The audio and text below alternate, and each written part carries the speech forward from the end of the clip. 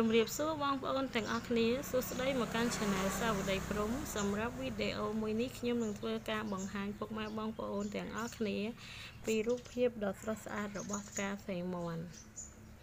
ផ្កាសីមាន់គឺជាប្រភេទផ្កាម្យ៉ាងដែលប្រជាជនខ្មែរយើងចូលចិត្តដាំលេងដាំនៅមុខផ្ទះនៅតាមរបងផ្ទះនៅទីវត្តអារាមឬក៏សាលារៀនកា រការសេមាន់នេះគឺជាប្រភេទការដែលងាយស្រួលដាំមែនទែនគឺយើងដាំវាដោយគ្រាប់ហើយវាមានពណ៌ពណ៌លឿងពណ៌ក្រហមពណ៌ផ្កាឈូកស្រាលនិងពណ៌ផ្កាឈូកចាស់ពណ៌បៃតង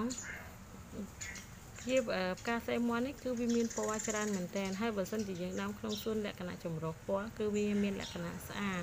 ហើយយើងក៏មានរូបភាពជាប្រភេទសេមាន់កន្តុលកន្ទុយកណ្ដុលផងដែរ ហើយផ្សេងមួយនេះយើងអាចកាត់វាយកបដាក់ក្នុងថូដោយរៀបចំ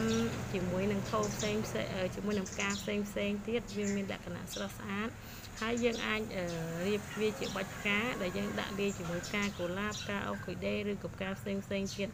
តាមចំណង់ចំណូលចិត្តរបស់បងប្អូនគឺផ្កាសេមន់នេះគឺវាមានភាពស្រស់ស្អាតមែនតើហើយវាមានភាពតាក់ទាញ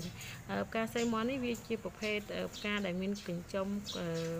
ធំមានកញ្ចុំផ្កាធំកញ្ចុំផ្កាតូចហើយក៏ផ្កាជាសរសៃសរសៃគឺវាមានច្រើនប្រភេទ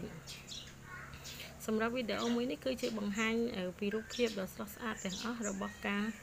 សេមន់និងរបៀបតុបតែងផ្កាសេមន់ដាក់លាយជាមួយផ្កាផ្សេងផ្សេងដាក់ក្នុងថូដាក់នៅលើតុ